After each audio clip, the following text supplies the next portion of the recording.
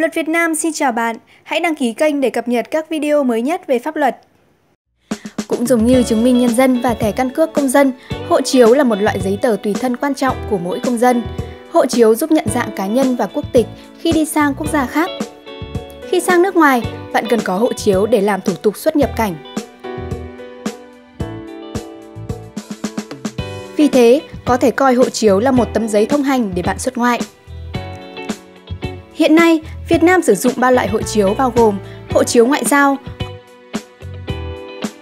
hộ chiếu công vụ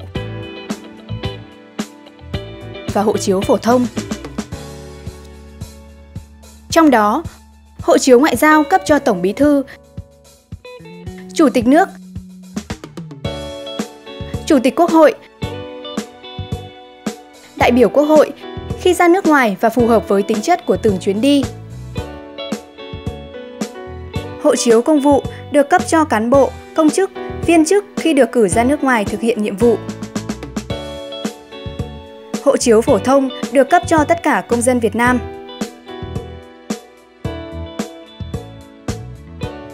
Thời hạn sử dụng của hộ chiếu phổ thông như sau. Hộ chiếu cấp cho công dân từ đủ 14 tuổi trở lên có thời hạn 10 năm. Hộ chiếu được cấp riêng cho trẻ em dưới 14 tuổi có thời hạn 5 năm hộ chiếu cấp chung cho công dân Việt Nam và con của công dân dưới 9 tuổi có thời hạn 5 năm. Trong phần tiếp theo của video này, Luật Việt Nam sẽ hướng dẫn chi tiết về thủ tục làm hộ chiếu phổ thông, giúp bạn có thể hoàn thành thủ tục này một cách đơn giản, nhanh chóng và ít tốn kém nhất. Bước 1. Chuẩn bị hồ sơ. Hồ sơ xin cấp hộ chiếu bao gồm 1. Tờ khai xin cấp hộ chiếu theo mẫu. Bạn điền các thông tin này theo yêu cầu trong mẫu tờ khai. Lưu ý, nếu bạn có hộ khẩu thường trú tại địa phương thì không cần có xác nhận của công an xã, phường, thị trấn vào mẫu tờ khai này. Riêng đối với trẻ em dưới 14 tuổi, tờ khai phải được công an cấp xã nơi trẻ em thường trú hoặc tạm trú xác nhận và đóng dấu giáp lai ảnh. Tờ khai phải do mẹ, cha khai và ký thay. Riêng với trẻ em dưới 9 tuổi, có thể làm hộ chiếu riêng hoặc cấp chung với bố mẹ. Nếu cấp chung hộ chiếu, cha mẹ khai vào tờ khai của mình và nộp thêm một bản sao giấy khai sinh hoặc trích lục giấy khai sinh cùng hai ảnh cỡ 3 x 4 của con.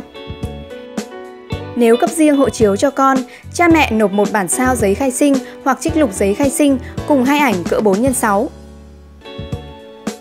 2. Ảnh làm hộ chiếu Bạn cần chuẩn bị hai ảnh làm hộ chiếu kích thước 4 x 6 cm. Ảnh chụp trong vòng 6 tháng gần nhất tính đến ngày nộp hồ sơ làm hộ chiếu. Ảnh phải được chụp trên nền trắng có độ sáng và tương phản thích hợp. Tuy không có yêu cầu bắt buộc về kiểu dáng hay màu sắc trang phục mặc khi chụp ảnh hộ chiếu, nhưng bạn nên mặc áo màu trắng, có cổ sẽ giúp ảnh hộ chiếu sáng hơn, đẹp hơn và lịch sự.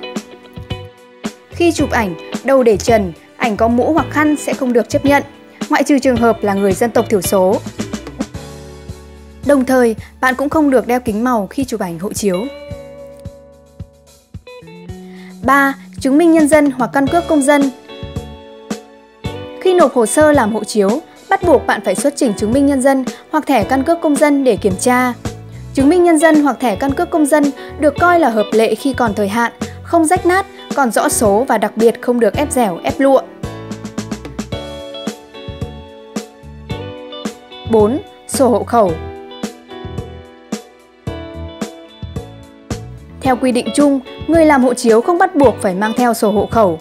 Tuy nhiên, một số địa phương vẫn yêu cầu phải xuất trình cả sổ hộ khẩu khi làm thủ tục cấp hộ chiếu để đối chiếu. 5. Sổ tạm trú KT3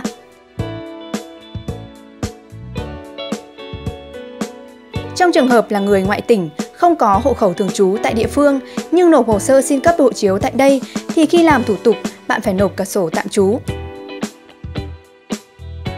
Bước 2. Nộp hồ sơ đề nghị cấp hộ chiếu. Nơi nộp hồ sơ Thông thường, bạn sẽ nộp hồ sơ cấp hộ chiếu tại phòng quản lý xuất nhập cảnh thuộc công an cấp tỉnh nơi thường trú hoặc tạm trú. Trong một số trường hợp đặc biệt như sau, bạn nộp tại Cục Quản lý xuất nhập cảnh. Cần đi nước ngoài để chữa bệnh nếu có giấy tờ chỉ định của bệnh viện. Có thân nhân ruột thịt ở nước ngoài bị tai nạn, bệnh tật bị chết cần phải đi gấp để giải quyết nếu có giấy tờ chứng minh những sự việc đó. cán bộ, công chức, viên chức, sĩ quan, hạ sĩ quan, công nhân viên trong quân đội nhân dân và công an nhân dân có nhu cầu xuất cảnh gấp nếu có văn bản đề nghị của thủ trưởng cơ quan, đơn vị. Trường hợp có lý do cấp thiết khác. Cách nộp hồ sơ bạn có thể nộp hồ sơ làm hộ chiếu bằng một trong ba cách sau. Trực tiếp nộp hồ sơ tại bộ phận tiếp nhận và trả kết quả của cơ quan giải quyết. Ủy thác cho cơ quan, tổ chức, doanh nghiệp có tư cách pháp nhân nộp hồ sơ. Gửi hồ sơ và đề nghị nhận kết quả qua đường bưu điện. Lệ phí cấp hộ chiếu là 200.000 đồng.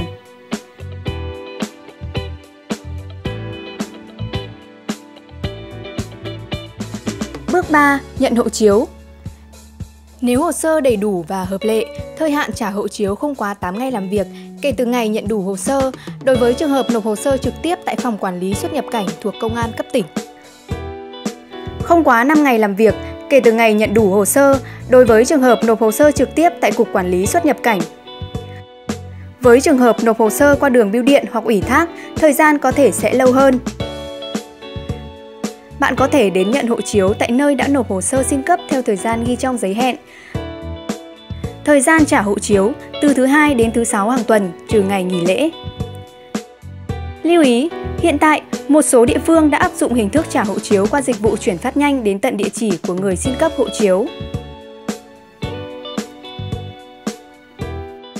Cảm ơn các bạn đã theo dõi chương trình của Luật Việt Nam. Để tra cứu toàn bộ hệ thống văn bản và thông tin pháp luật hiện hành, vui lòng truy cập website luatvietnam.vn. Xin chào và hẹn gặp lại!